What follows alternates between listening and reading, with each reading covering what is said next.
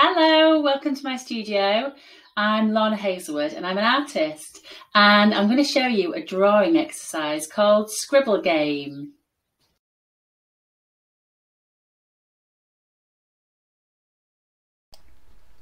Hello there. So we're going to do a scribble picture next. Um, there's lots of different scribble doodles that you can do, but the one that we're going to do today is a really fun game. So we need a pencil, we need a black felt tip pen. I've got a marker pen here. I've got some colours to add a bit of colour to my pictures and a piece of drawing paper. So all we start with is a lovely big looping swirling doodle, scribble even. so move that pencil around the page. Don't want too many lines, that will probably do. And then we're going to investigate these lines and we're looking really closely and we're looking to see if we can spot any pictures emerging. Maybe there's faces or creatures in there that we could turn into little mini drawings. So sometimes turning it round helps. That might help you to spot something that you haven't seen already. So I'm just going to turn it round see what I can find. Maybe this way. Okay, well, here I've definitely spotted something. So I'm going to take my marker pen and I'm going to go around the outline of this creature and I think it might be a blobfish. so I'm going to go round these lines. I can use a little bit of artistic license here and there so I can add some little marks. Now I've got a choice here. I can make a big happy blobfish or an unhappy blobfish. I'm thinking if I use the unsmiley mouth that might look a bit more realistic. So there we go.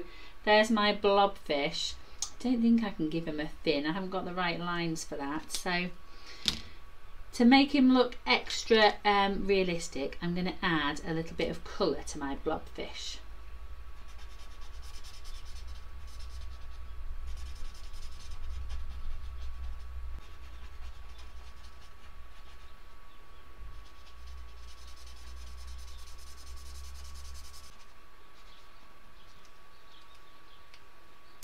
So there's my first drawing that's emerged from the scribble. Now I want to see if I can find something else in there to go with my blobfish. What else could I see? Let's have a look.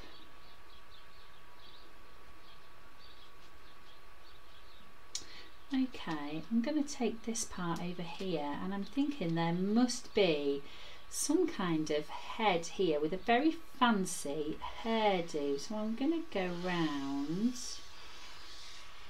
these lines here and that's going to be the head.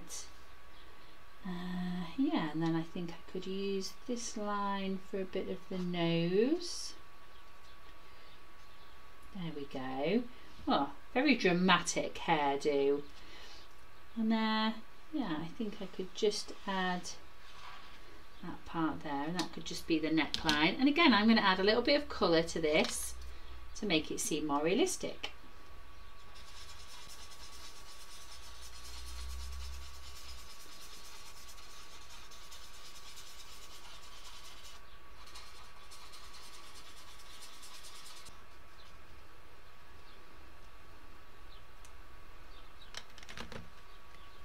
Okay, so I've got the lady with a very fancy hairdo.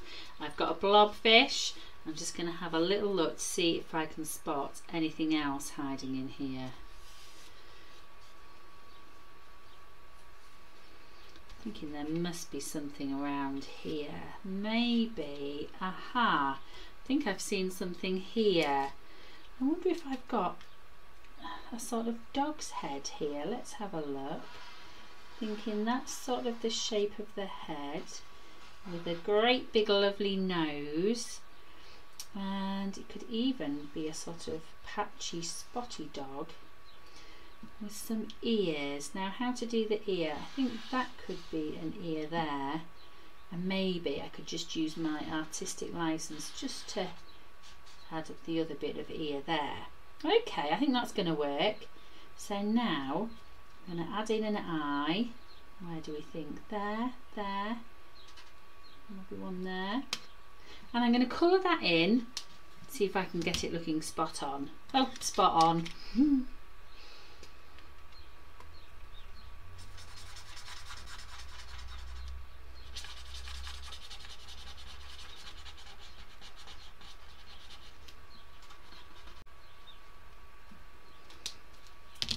So there we are. So we've got another little doggy there as well to go with our person and our blobfish. So that's the scribble game. Have a little go. I'd love to know how you get on. It's great for using your imagination and being nice and loose and free in your mark making and it's just great fun as well. Okay, till next time. Bye.